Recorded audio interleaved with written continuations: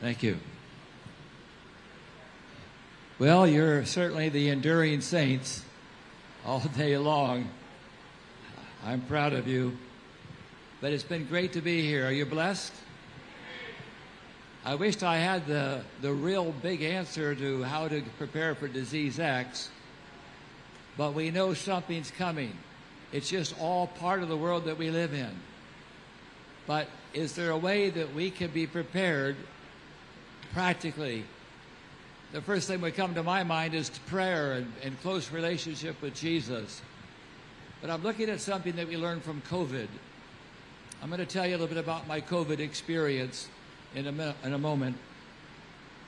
But one thing we learned from COVID, uh, from yes, from COVID, was the importance of vitamin D. Does that ring a bell with anybody? Okay. So um, we know, of course, vitamin D. We grew up knowing that vitamin D was important for strong bones and muscles. But I don't remember much about being told that it was important for my immune system. But we know today it's very important. And COVID taught us that those that had adequate levels of vitamin D survived when others didn't. I'll give you some specifics for a moment.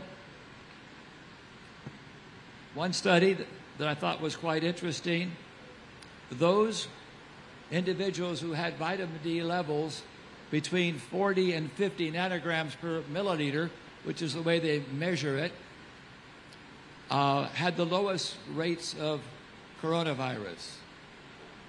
It seems to be protective. Another study looked at COVID patients in the hospital.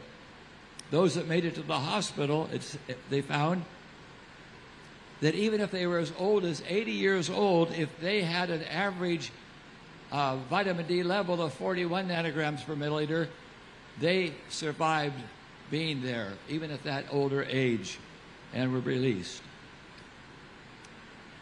Now, I, I, I wonder how many people here even know your vitamin D levels, those numbers. See, not many hands. I didn't expect that. It's often on your lab reports, but they just tell you it's good, or basically, they don't even refer to it individually. But uh, you may want to check that out because to know where you really are in that area.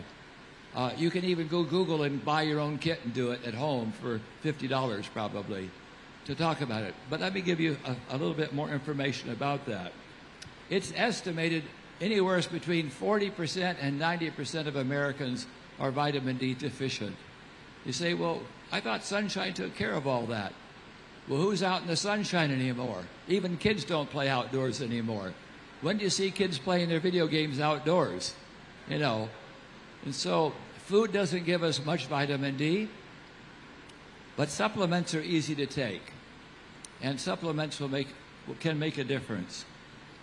Um, the Institute of Medicine, I've, I've, I've, tried to find out a consistent answer to, what is really an ideal vitamin D level that we should aim for if you do find out your levels.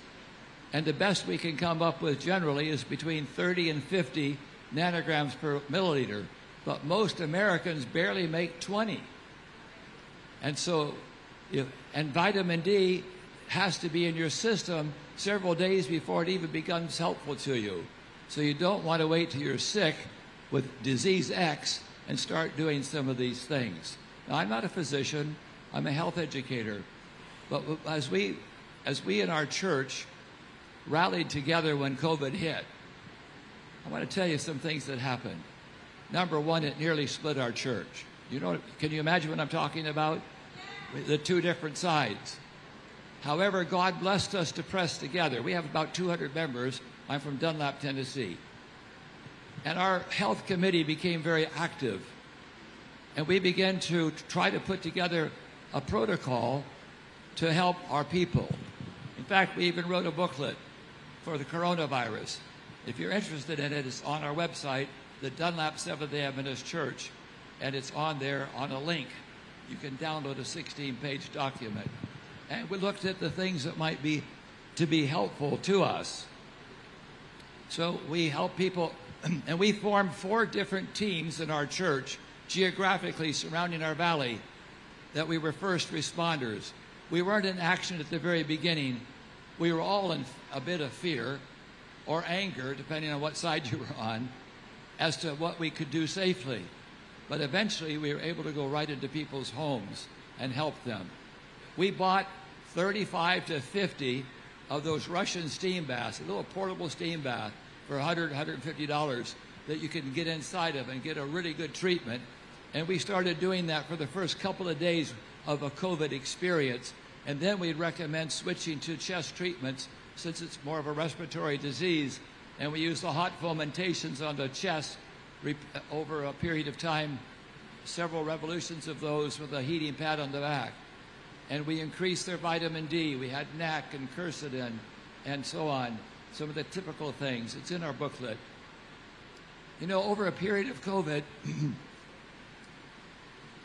out of all the people we helped get started, we didn't lose one single member that followed that followed our that followed the routine. Now I want to tell you a couple of situations that did come up. So we got these steam baths, and we would get we would take them to their home, we'd loan it to them or sell it to them. They could pay for what we paid for it. But we got them started. We had one man that worked for the government. He was a fairly good sized fella, and he came down with COVID. I took over to his house the steam bath. I set it up for him. We gave him our protocol, how to use it. Or it's just a suggestion. And he took the first treatment because I got him started. But after that, he just said, I don't feel like it. I mean, when you're sick, you don't feel like a lot of things. But it was life and death. It could be. And so, uh, four or five days later, we hadn't heard from him. He's in the hospital and he ends up on a ventilator. One week, two weeks, three weeks, he's still alive. Four weeks, five weeks, six weeks, still alive. I don't remember what week it was, but like the early church prayed for Peter to be released from prison, our church was on their knees praying that it could be turned around. And about six weeks later, he got off that ventilator. The doctor said, he will never be normal, but at least he's alive. Wrong. He's fully normal. He's teaching Sabbath school. He's preaching. He's one of our elders. So that really was a blessing. But don't follow his example. If you're sick, you need the treatments. Now, we had another brother. He was a, a nurse. He was about my age or just a little younger. Trim, thin. He was in charge of our literature. He got COVID about the time my wife got COVID, and then I got COVID. And he's and so and he knew about the steam baths. That's just a starting point. So I got him the steam bath, and three days later he called me. He says, "I'm getting worse. I can hardly breathe." And I said, "Brother, how many treatments have you had?" He says, "None. I didn't feel like it, and my wife couldn't help me. Is there anybody that can help me?" How do you think I felt? I'm sick as a dog myself. My wife and I are giving each other treatments. And, and, and it was early in COVID, and nobody wanted to go. Nobody wanted to go. Later, we did once we got past our COVID. And we went into people's home and gave them treatments. That man ended up going to hospital, and he died. And so I'll never forget that. It'll break my heart. I wanted to go help him, but I couldn't, and nobody else was willing. Disease X is coming right? You know that. The other foot's going to drop, the other shoe's going to drop. We need to learn simple, natural remedies and be prepared for whatever may be coming. I want to read to you a statement in closing uh, from Counsels on Health, page 506.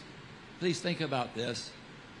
As religious aggression subverts the liberties of our nation. Does that sound familiar? Those who would stand for freedom of conscience, does that sound familiar?